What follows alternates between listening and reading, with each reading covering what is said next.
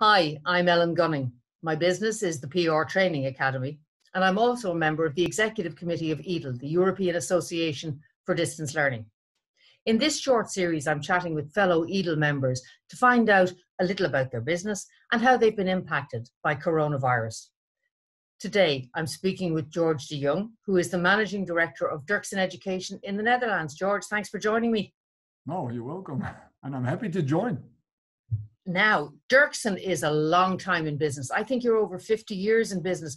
For those who don't know you, give me a rough idea what your, your story is. Well, uh, Dirksen was founded in uh, uh, 1966. So I was, uh, at that time, I was four years old. Um, uh, I joined Dirksen uh, six years ago. And in the, the space in between, the, the, the founder, he gave over to um, uh, Dirk van der Mark, uh, who became the director in the early 70s because the founder, he unfortunately died young. Um, in the uh, 2013, uh, Ronald uh, Jansen, Ronald Jansen, as you should pronounce in Dutch, mm -hmm. took over and he asked me to join him to reorganized more or less the Dirk's opleiding because it was a sort of uh, old-fashioned in some ways. Uh, and we started together to do that very uh, successful, I think.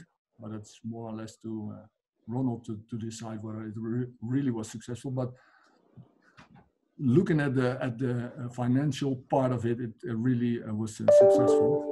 Very unfortunately, Ronald fell sick a year and a half ago now, and uh, I had I had to take over as a managing director. And since uh, since that moment, I've been trying to do my best to uphold the standards of Dirksen. And um, uh, up till the moment that Corona came in, uh, it really went um, smoothly, more or less.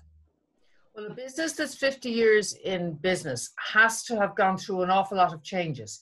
So you can't be anything like the company that was formed 50 years ago, except that when you were formed, if I if I understand it correctly, when you were formed 50 years ago, your focus was on technical education, so it was on skills that needed to be taught physically yeah, it, almost. It, I wasn't there, but I've uh, I've I've learned it uh, uh, from the stories. Uh, in those years, uh, uh, electrotechnics was was changing a lot. television came in, and that that had a, a huge impact on mechanic uh, and, and all kinds of uh, um, guys who had to, to, to rebuild or upgrade the systems in those days went very slowly compared to now. But there was the so Jan De, Jan Dirksen. Uh, he, he was an, uh, a teacher at the uh, Air Force Technical School, and he thought of the idea. Idea came up to well, we probably have a lot of interesting information for the, the guys in the fields for, for that time. And then he came up with the idea of, of uh, uh, providing distance education, so on paper, on the latest uh, developments in techniques, electrotechnics. And like that, he started from uh, some attic room uh, in Arnhem. He, he, he, made up this, this curriculum and then he had it printed and sent it out. And people were interested. So that was the first uh, form of distance education, I think even in the Netherlands, uh, to, to help out people who are, had a, were in a job and, and needed uh, yeah, extra information on, on what they were doing on the, on, the, on the development. And since then, we always tried to uphold uh, uh, uh, the, the, the, the, developments and, and keep our, our customers informed on the latest uh, developments in, in, in their uh, fields of work, in their working field.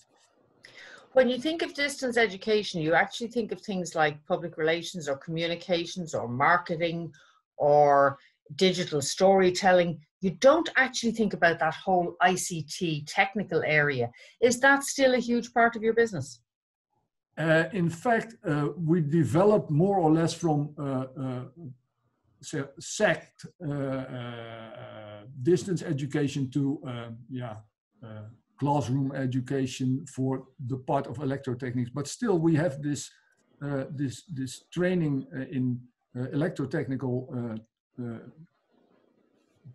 basics and, and, and, and developments uh, in electro still as a distance education uh, form. I would imagine that's actually very difficult to do, to teach by distance, or am I wrong? You can the, the theoretical part is is easy. Then then we always have uh, provided a sort of uh, a training kit. So you you get the the, the if you if you uh, go for the uh, distance package, you you get this uh, training manuals and you get the options to to ask a teacher via, uh, in those days it was written, but nowadays you can log in on, on our platform and then you can ask a teacher who gives you an answer, etc.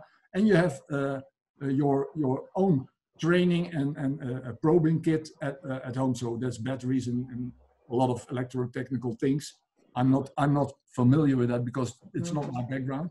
Uh, but that, then you can you can train yourself. It's really still optional as, as a distance uh, training uh, uh, system. But during those 50 years, people asked for, is it possible to have some additional classroom trainings? So we, we provide this electrotechnical training in the pure distance variation, but far more often in, in a combination of, the same program, but with six uh, uh, uh, sessions with a teacher in a classroom. So you're with six to, to eight people in a class, classroom six times, and then you can ask the questions and you can train together and try together.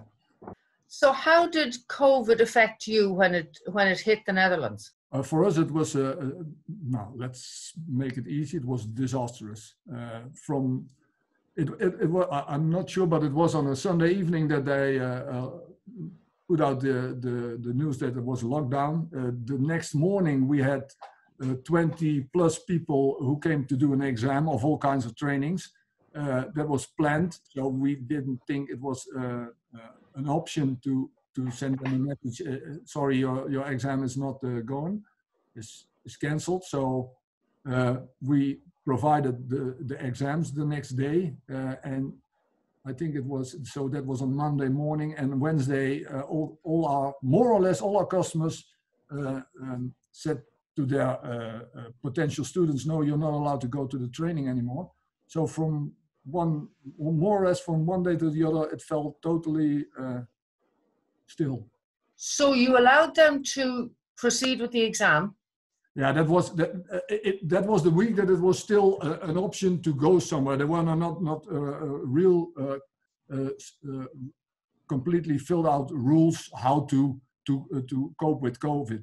So that was the the, the sort of limbo period where we were in at that moment. But at the end of that week, we we knew what was allowed and what was not definitely. So yeah, we had no other choice than yeah. We we we, we firstly we we tried to uh, uh, uh, reorganize our classroom situations with the things that are now regular. So we said, well, okay, let's let's have a smaller class and let's try to to get some hand gel or whatever, and, mm-hmm. and all kind of sort of things. But all our customers said, no, people are not allowed to, to go to any uh, uh, classroom training for, for the time being. They said at that moment, I said to, uh, until the 1st of June, and I uh, extended that uh, later to the 1st of uh, September. So uh, let's say at the end of March, we were looking at a period of uh, four months with no training at all. And at that point, it must have been very clear that no matter what you did, if the clients had decided they weren't going to release people to come to a classroom setting, it didn't matter how safe you would make a classroom setting. No. So no. you're facing four months with nothing happening in the calendar. What did you do? Now, the first thing was uh, uh, let's let's see what are our options. So we, we got to we got together via via, via Zoom and things, uh, and we we started to look at our options because we were uh, uh, familiar with distance educations and we were familiar with uh, e-learnings and we were virtual reality. We had all sorts of variations on that themes, but they were just very minor parts of our total business. So the first reaction was, well, what are the options for, uh, let's say, e-learnings to help out uh, uh, organizing a sort of training for our customers who can't uh, join us in the, in the classroom. So you had the problem of uh, uh, a training, let's say, uh, in, in, in welding or whatever, mm-hmm.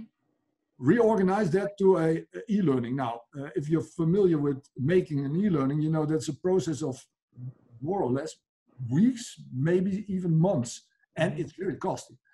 So we had the, the, the, the qualities uh, within our R&D uh, uh, uh, part of the organization who could make e-learnings on a, on a low level basis. So not the very high professional, but that was, that was another thing that we had to, to cope with. Well, okay, if we can't provide classroom trainings, we will have to look at e-learnings. We can't afford to, in time, but also in, in money to, to have them created by some very uh, high level uh, e-learning producer. So we have to do it ourselves. Well, okay, quality will have to be maintained, but now it will not be uh, uh, in, in our Dutch system a, a 9.5, but a, a 7.0 or whatever. So uh, we go for the A, a, plus normally, but now we, we are happy with a, a B minus.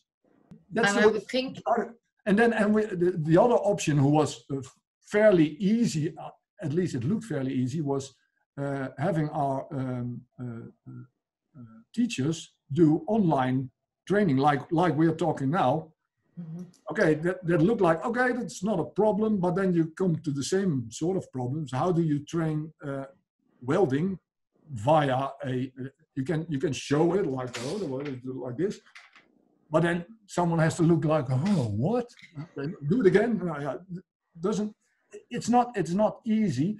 Uh, on the other hand, all the theoretical parts, like uh, doing a PowerPoint presentation and telling, uh, uh yeah, it's, it's not very different uh, compared to uh, being a teacher in a classroom. We thought, but then our teachers found out, well, how to keep everybody uh, focused on on the on the on the on the, things he's telling. Because yeah you, you can look at now like us now two two images and i'm familiar already with looking at nine uh, uh, images uh, in one time but 30 of uh, yeah in our classrooms it's, it's always 8 to 12 but it's not easy. If you if you who, who's who's sleeping over there? Or yeah people run off. That's the we got a, a, fairly lot of uh, experience with our um, uh, higher educational uh, part. So uh, the, let's say the, the, the University part.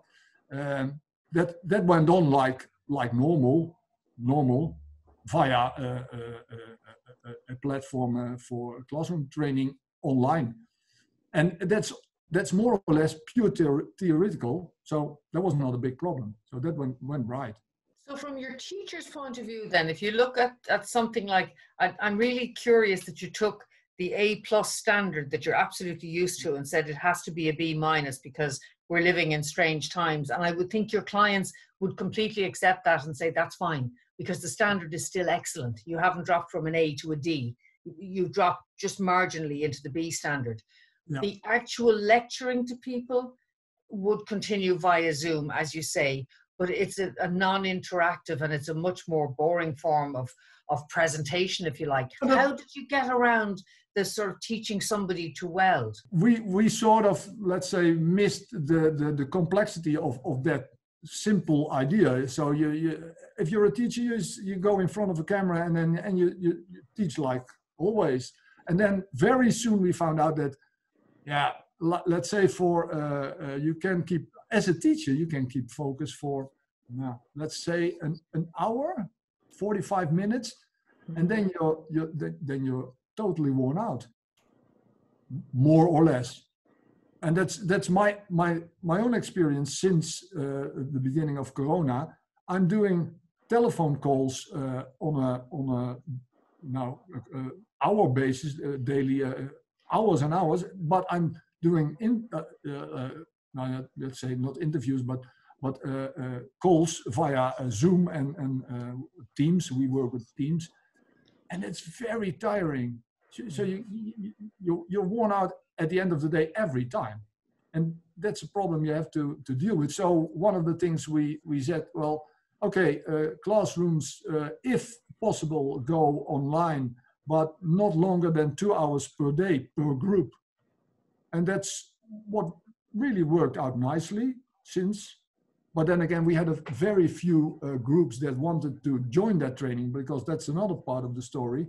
Uh, you can okay. provide any form of uh, distance learning if if you're able but then again do the clients want to join in and and do the do they appreciate this form of training because uh, if you and that's not meant uh, rude at all but if uh, if you're uh, used to uh, working with these kind of systems then it's already easier but a lot of our students are people that are working handcraft people who are working in the field all day they, they, yeah, they're, they're in the streets. They don't work yet. They have a, a, mobile phone, and not even all of them have a mobile phone.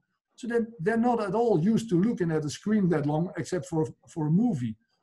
And and education for them is always like I have to go there and I have to do that. I, they, they more or less do not really appreciate their, their their trainings all the time because they have to go there. It's it's mandatory for a lot of uh, those people who are uh, taking courses with us to go to a, a, course.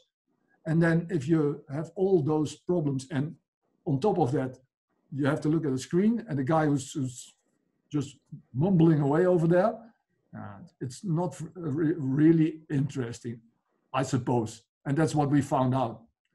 It's a really good point, though, that you could put all of these structures in place, but the client comes back. We assume, I assume, because my work is office based, the people yeah. are familiar with laptops and i agree with you it's exhaust it's much more exhausting talking to people face to face via zoom than it is hopping from one meeting to another all day. For some reason it, it drains you much more. But we assume that it's just it's another piece of technology. So you use your laptop or you use your smartphone you get used to it. But for somebody who's learning a, a, a trade a craft with their hands to then add this what to them would be an incredible layer of technology in order to teach them would hmm. actually create great stress among your clients themselves. So, did you find then that they simply weren't attending the classes that you needed to stop, or how did you deal with that? Yeah, you, you, you got the, the problems, but I, I think uh, most of the people who are uh, tuning in on this interview will recognize that. Uh, uh you, you got your your teacher now he's more or less in a in a in a in a, a location where he's not disturbed but the the the, the um, students are working at home and then they've got their wife running around. Uh, they got kids. They got a dog like like tony. He's got his dog all the time somewhere. I've never seen him but but that's that's a problem. And then then as a teacher you got to manage that as well. But but that, that doesn't belong to your trade. You're, you're not managing a, a home situation for students. But it's it's all very minor uh, uh, details. But in the whole it it's it, it, to me at least it shows the the problems of uh, distance learning via uh, uh, systems digital distance learning very much so. Can I follow up on two points with you? One is when you're actually talking about the students themselves, and you're right, they're no longer in a classroom, so they haven't left to go somewhere where they're focused on studying. They may want to have the focus, but life is happening all around them. Do you, uh, it must be equally annoying for the tutor if the student chooses to turn off their camera because now you don't know are they there, are they paying any attention, have they gone off out to play football? Do you insist on cameras being on? You said you've confined it to two hours a day. So how do you make sure that people are actually there for the two hours? That is that's that's, that's an interesting question because uh, one of the things uh, we started, uh, I think, in, yeah, uh, day two uh, after the lockdown started, was doing a, a, morning brief for all personnel of Dirkse. And just yesterday or the day before, uh, one of our MT members uh, came up with the idea, uh, why are so many people not in view? Because they all had their, have their cameras off. And the idea was, yeah, probably because the, uh, uh, the, the, the, the, band uh, brought was, was not good enough to have whatever. But that, that I've never thought about that for a teacher. The teacher has the same problem, and he can't he can't even see if, if someone is listening. Maybe they're off, like Chris Mm-hmm. now. What is he doing? He, he's standing in the mountains already uh, 20 minutes. so you- you've no idea so that there's no way of actually controlling it. And from a teacher's point of view um, i know i was speaking to a colleague who said that to look at people in front of you in a classroom so if you have 20 people in a classroom it's actually quite easy for your eyes to roam and catch people. And as a teacher you're trained to make sure that you've got that interaction or you're losing somebody you need to bring them back. But on a screen it's very different because it's much more unnatural for you as the teacher, as you said, to be going around these boxes seeing where is everybody and what are they doing. What are you going to do differently then? I assume you're now, you've put in the structures which will keep you going on a, a short term basis. Now, now, What are you looking to do now for September onwards? Now the, the good the good news is uh, since uh, last uh, last Tuesday we already uh, were allowed again to have uh, training sessions in classrooms. So we, we are doing uh, sessions with more, uh, not more than six people in a classroom and not more than five, maximum six classes together in, in the building. So we, we will not exceed the, the maximum of 100 people in one building. Uh, and and yeah, that's that's uh, uh, from this day on till the end of July already really filled up. So our planning is really complete uh, until the end of uh, July. So that's that's the good news. And and the other good news is due to the fact that we had to cope with the Corona uh, circumstances, we've uh, uh, made up a lot of uh, new forms of uh, training, including e-learning. So uh, there were, for example, there, there were trainings that were uh, took five days normally, and now we, we brought them back to four, uh, three and a half to four, and the other one and a half is uh, rebuilt in an in an e-learning.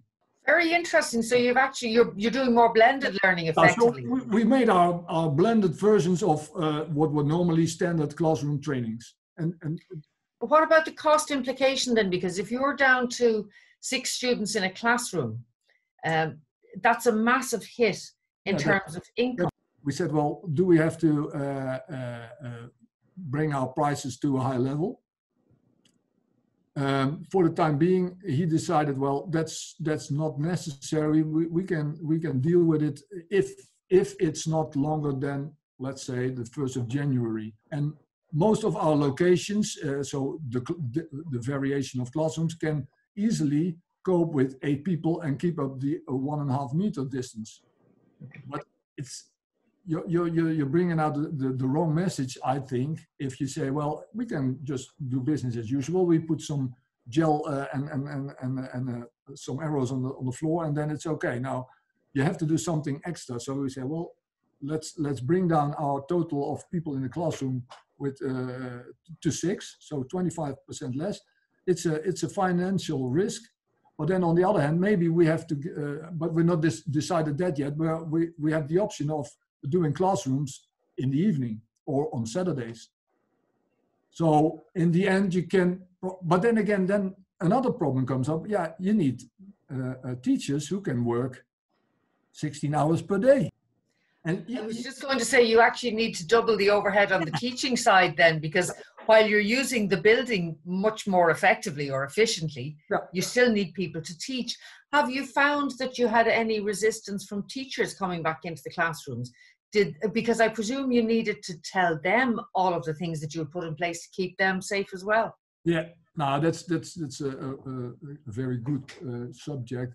Uh, I do not really uh, say, well, we've done everything that uh, they they asked for, but um, we tried to to have an open discussion uh, on their safety uh, because we there, there are various uh, uh, uh, subjects that, that you need to, to, to deal with. So the the the- classrooms, uh, how uh, the technical way of uh, providing safety, the gels, the the the the, the gloves, the, the mask, even we have those visors. Even we we thought of ventilation systems, additional ventilation systems, and and we thought, well, okay, we've we've arranged everything, but then we had the the the the idea of asking them as well, well, is this enough? Uh, are there additional wishes? Are there additional? So that turned out to be a, a, serious discussion because they have to stand in front of the, uh, they, they are the, the ones in the front line as they feel, as they feel. It's easy from a desk to say, well, okay, uh, we've prepared everything, uh, just start working. Uh, the discussion uh, was uh, really serious. Um, and we, we, we had some little additional uh, uh, questions that I had, and we filled that out as, as best as we could. And for the moment, I hope I'm, I'm, I've not asked every single teacher, but they're, they're quite uh, satisfied and they, they, already are teaching uh, as, as we speak. And have you found it a difficulty then for people who are immune compromised? Because I think this is one of the big issues coming in the, the coming months.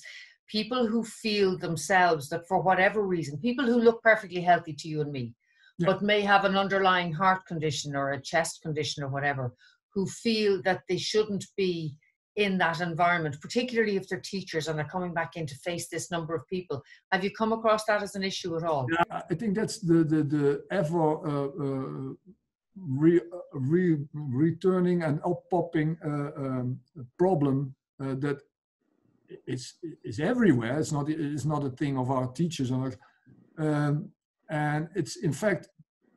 I had a discussion with the, with my colleague yesterday, and and just yesterday I found out well if I'm okay with uh, with everything that's uh, being uh, arranged, then it's still then then there probably is still a chance that I can get uh, uh, infected because some just like you, like you're saying someone's coming up and he doesn't know he's infected and he, he's touching something but then again yeah how dangerous is it touching a, a telephone or a, a whatever? Um, the, the, the biggest problem is no one knows how uh, infection is taking uh, is working or is taking place or we, we do know really if I cough on, in your face then and I'm I'm infected then that's a problem for you.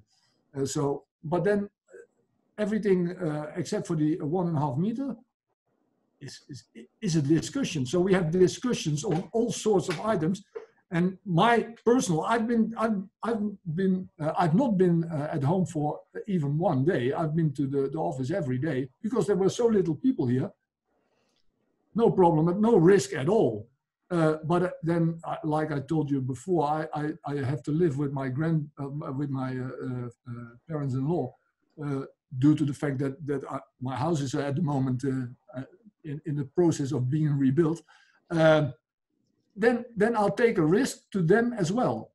So yeah, you have to think about it. But it's I, think it's it's for the teacher, and and we're we're happy with if, if a teacher would say, well uh, let's say my my uh, uh, my wife is is a risk a high risk factor or, or, COVID is a high risk factor for my wife. I, I I don't want to get in, into contact with anyone. Now, okay, I can force you to, to stand in, in front of uh, six totally strange people for you. Even if we have everything arranged that's, that needs to be arranged uh, uh, as uh, the government uh, says, well, this is this, these are the rules. Strange thing is, in every country the rules are a little bit different, but in the end, it's keep distance and don't cough on anyone, and yeah, if need be, uh, wear gloves or wear a, a, face mask or whatever. we provide everything, but still, you get you got you can have the situation that that someone has problems with it, like students as well. Every student is allowed to stay at home if he thinks it's necessary for him for whatever reason. And we will most of the time refund. Because, yeah, that, that's the only way to deal with it. To be fair to the students, they didn't choose the coronavirus no, pandemic. So no if it happened and it affects their ability to study, that seems yeah. a very fair way to do it. For anybody who is looking at online learning as a provider because what's very clear from talking to you is that there's a huge amount involved in providing any course on by online learning what advice would you give them for a company who says look we just need to move you know the easy kind of hop over from teaching in a classroom to teaching online what's your best piece of advice for them Yeah, I, I think uh, uh, be aware that uh, uh, changing from classroom training to any form of digital learning is is not uh, by definition a solution. It's more or less uh, an option as an extra. And in, in, in some in some situations it may be a, a, a good variation, but most of the time it's just additional. I, I, it depends on on the sort of training you you, you provide because uh, uh, if you if you like theoretical economics or whatever that's that's I think it's quite easy but I'm not familiar with that those kinds of training I'm familiar for example with uh, trainings for doctors and, and things like that I, in the early days I, I made some uh, up with uh, with another company.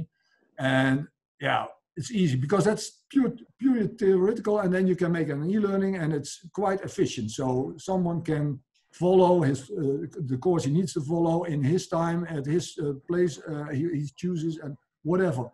But if you if you have a, a, a training program like we have and you need people who uh, uh, you need to train people that are handcrafts people most of the time you you definitely uh, use e-learnings or digital online training or uh, uh, virtual reality as uh, an additional option.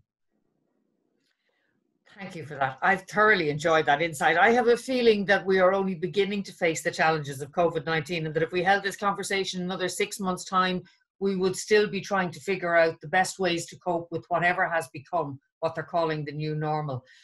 My thanks to George de Jongh, who's Managing Director of Dirksen Education, I'm Ellen Gunning from the PR Training Academy, and this series is brought to you by EADL, the European Association for Distance Learning. Until we meet again, stay safe. Thank you.